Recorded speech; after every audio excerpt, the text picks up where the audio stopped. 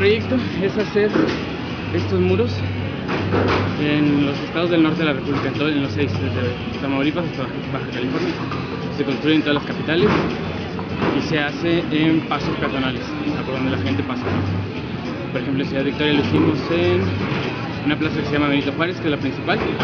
En Saltillo se hizo en una que está muy cerca de la Plaza de Armas, que es también un paso peatonal, que se llama Padre Flores, la calle.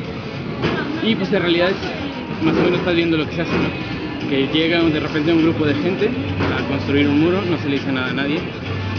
Por ejemplo, de aquí la, gente no tiene información de que se va a hacer esto. Claro que se tiene que pedir permisos y claro que se hace todo el trámite.